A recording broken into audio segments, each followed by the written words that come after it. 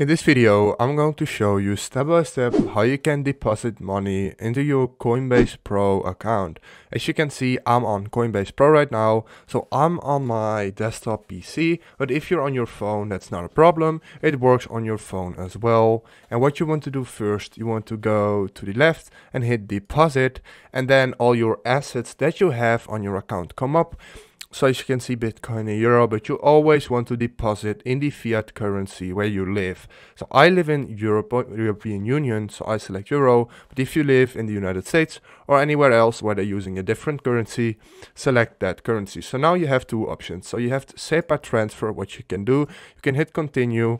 And what you want to do, you want to um, send this uh, from your bank account to this, so to this number, this IBAN and then all this information. So this is really important that you fill this in correctly and it can take up to three days before it arrives. So what I personally always do is transfer it from coinbase.com which will be instantly. As you can see it already says transfer funds instantly from Coinbase to Coinbase Pro. So what you want to do, you want to hit this. As you can see my balance on coinbase.com, the normal Coinbase um, uh, one is zero euros, but if I put money on that and I want to transfer it to this portfolio on Coinbase Pro, I can just enter in the amount here or select max and then the fee is always zero. So that's great. You can transfer with a zero dollar fee from Coinbase to Coinbase Pro. So once you've entered in the amount, just hit submit and it will be instantly put on your new Coinbase portfolio. If this video helped you out, please leave a like, please subscribe and see you next time.